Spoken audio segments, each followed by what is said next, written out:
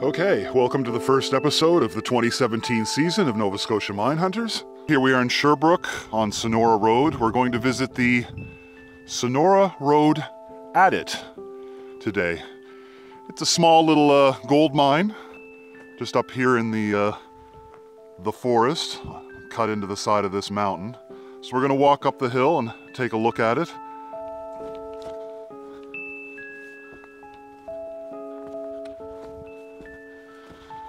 So there's a beautiful uphill walk here. beautiful in the way that it's leg killing. But uh, our GPS is telling us that it's uh, just up here. You see a lot of uh, waste rock on the way up, so it looks like this was the uh, where they threw it all down. Oh, I do see it up there. What looks to be an adit anyway. Well, looky, looky. Isn't that nice?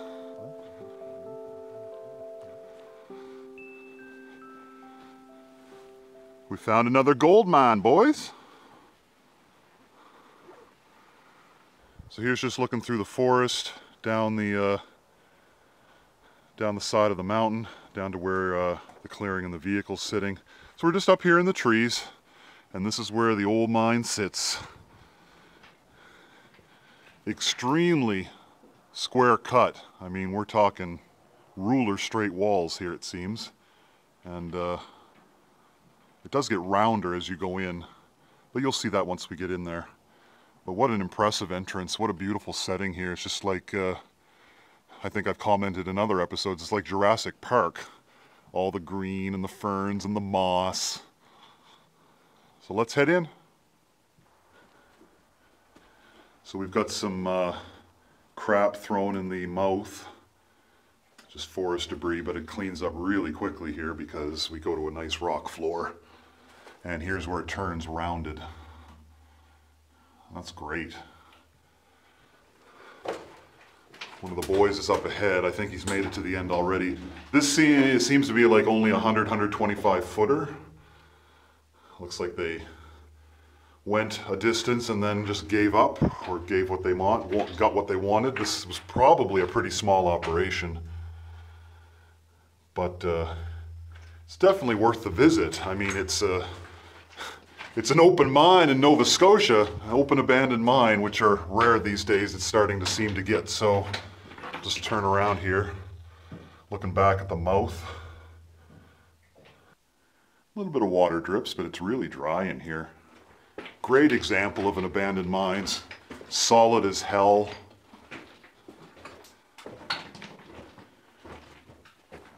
I'm sure all the locals know about this. Um, it does look well trumped and traveled. There's no real garbage. It's well clean and kept, but uh, beyond that, it is, uh, this is an end up here. A very cool fungus right there in this corner. Oh yeah, look at that. Just like lines of gold hmm. threaded through the, uh, the rock. Uh-oh. We have dirty graffiti, oh, a giant penis. And a, and a penis There's another one. That one's a penis and balls. Penis and balls, and this is a very hieroglyphic penis. What's that say? Anyway, let's have a look at the end, folks. This is all she wrote for this one.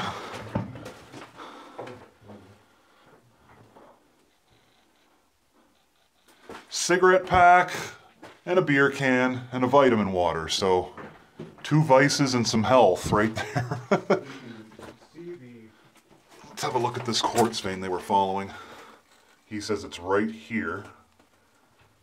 Yeah, I can see it. So here's at the end, looking back to the mouth. Got some still photography going on with our wonderful photographer team member. You can uh, see his fabulous shots on our Facebook page. That's where we put them all. All right, let's head out.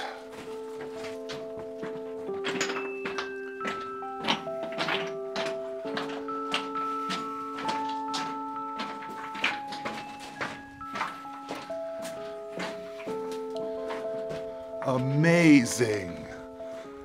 All right, these episodes go by quick when it's such a small little uh, abandoned mine, but uh, they got to be covered nonetheless. We're trying to hit every remaining site that's left in the province that's legit, and you can't skip these because they're uh, they're potential gems. I mean, this one is a real beauty anyway. It's, it's, it's small, but definitely uh, was definitely worth the uh, the visit while we were down in this area. So, chalk another one up, an untouched perfect example of a abandoned Nova Scotia mine. So we'll see you on the next one. Bye bye.